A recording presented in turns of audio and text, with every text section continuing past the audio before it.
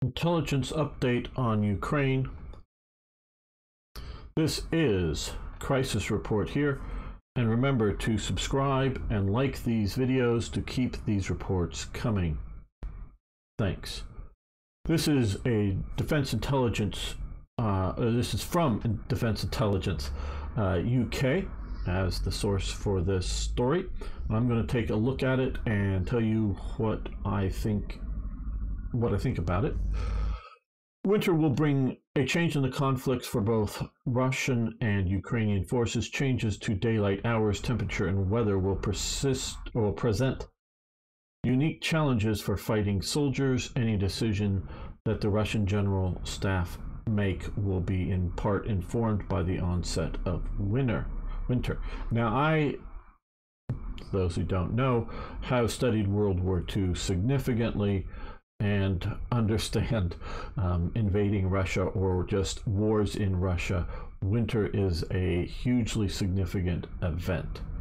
Um, daylight will reduce to fewer than nine hours a day compared to 15 to 16 in the height of summer. This results in fewer offensive and more strategic defensive front lines. Night vision capability is a precious commodity and further exacerbating the unwillingness to fight at night for those who don't have it, obviously. The average high temperature will drop from 13 degrees Celsius through September to November to zero through December and February. Horses lacking winter weather clothing and accommodations are likely to suffer from non-freezing cold injuries. I'm not sure um, what that non-freezing cold injuries. I don't know. I know hypothermia and whatnot, but I don't know how what the, what they're exactly phrasing that there. Additionally, the golden hour, um, uh, yeah, where they cut window in which to save critically wounded soldiers is reduced by approximately half, making the conflict um, with the enemy much greater, or con- contact risks with much greater. The weather itself is likely to see an increase in rainfall, wind speed, snowfall. Each of these will provide additional challenges to the already low morale of Russian forces, key point, but also present problems for kit maintenance. Basic drills such as weapons cleaning must be adjusted to conditions and the risks of weapons malfunctions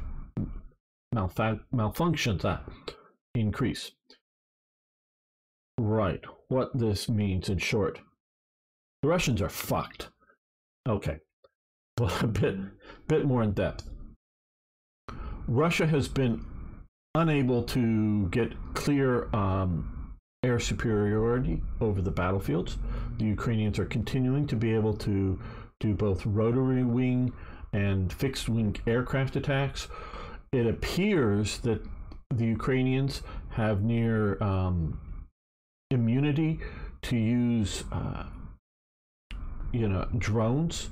Uh, often what we would think of as improvised drone devices. Russia does not have a um, countering element to those, you know, as in some sort of anti-aircraft or specialty electronic drone dam, dr- uh, drone jamming devices the U.S. used um, drone dam- jamming devices in, particularly in the war in Iraq, rather effectively. Uh, it appears Russia doesn't have these. And so, tactical mobility without those, with, with, with having Ukraine able to operate drones and identify target locations and literally drop mortar bombs straight on top of them from the drones.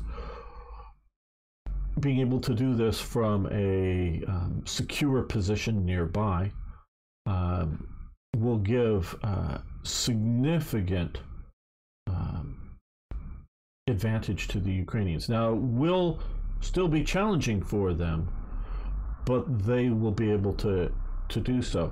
It will also make keeping supplies flowing to troops right on the front line much more difficult, which will probably mean bringing in um, picketing forces, um, screening forces into a more central location, which would allow the Ukrainians to more readily penetrate Russian lines and set up ambushes or plant um, roadside bombs or other um, just landmines or whatnot that will disrupt supply convoys, disrupt rail usage uh, throughout the winter, and can have dramatic problems for the Russians.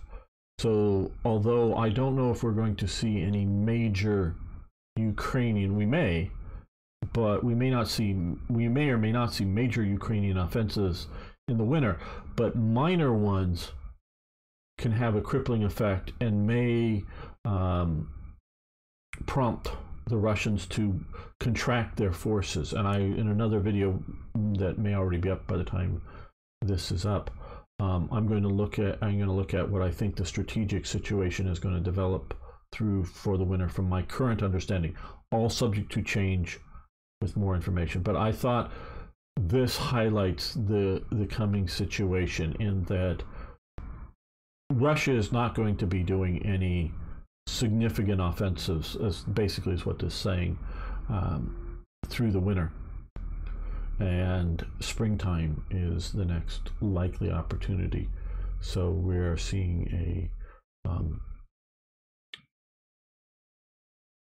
you know, a, a change in situation there in the war. Thanks, everyone see you next time when and these reports will keep coming as I find interesting stories to present to you. So whenever the next time is, see you then.